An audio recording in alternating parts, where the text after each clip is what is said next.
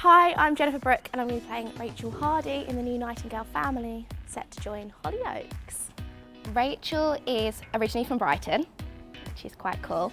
Um, she's quite free-spirited, she kind of doesn't care about the general stuff that other people care. She, like, she doesn't really care about, you know, how long it takes to do her makeup, how long it takes to do her hair. She kind of just does it how she wants to do it. She doesn't really care about other people's opinions. That's what I really like about her. Rachel fits in quite well with the Nightingale family. She's come with Nathan, who is her childhood sweetheart. I think her and Nathan are a match made in heaven. They're best friends, like I said before, like they are childhood sweethearts. They absolutely adore each other, but I think the reason their relationship works so well is because they're friends first. I'm from a little village called Roydon, which is technically in Essex. I like to pretend that I'm Beyonce in the kitchen, quite a bit, much to my neighbours' joy. If someone asks me on a date, I just make any excuse not to go. I'd rather like get, if I like someone, get them down with all of my mates and get to know each other that way.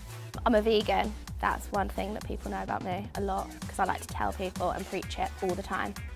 Rachel has um, some big storylines, the whole Nightingale family do, which is kind of exciting. This is kind of like a little waiting room to go and travel the world. So she's kind of like, okay, it's like a nice pretty village and everyone seems really nice, but I'm not staying here, so I don't have to really like settle here. So she's got a bit of itchy feet by the time she gets here.